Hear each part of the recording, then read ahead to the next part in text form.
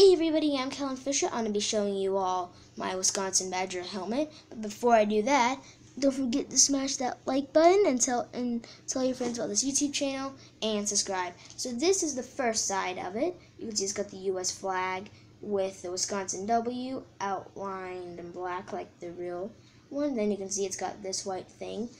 And then once you move over to the top, you can see it's got a white line with two red ones and then you got the team that made it on the back and you can see the lines. And then you got their logo is an S which as you can see over here. And then you can see the thing that goes right over your head right here. You can see that that's red. And then once when you move uh, more down right here you can see the chin guard and thanks for watching today's video. Don't forget to subscribe, smash that like button, and it's really going to help me out. Thanks. See y'all in another video.